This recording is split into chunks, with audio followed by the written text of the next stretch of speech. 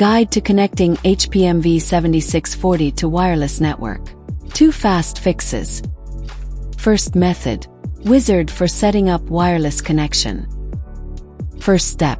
Navigate to the printer control panel and move the top bar downwards. Second step.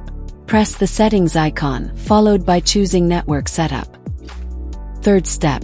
Choose wireless settings and then proceed to wireless setup wizard. Fourth step. It begins by looking for Wi-Fi routers nearby. Fifth step. Choose the network you wish to join and input the password. Sixth step. Select OK on the settings confirmation screen to establish the connection. Seventh step. After you are connected, press OK. Method 2. Using Wi-Fi Direct. First step. Scrolling down the top bar of the display panel, tap on Settings. Second step. Navigate down and choose Wi-Fi Direct. Ensure that Wi-Fi Direct is enabled. Third step. Choose the tap connection method and then pick either automatic or manual based on your preference. Fourth step. Return to the main screen, swipe the top bar downwards, and select the Wi-Fi Direct icon.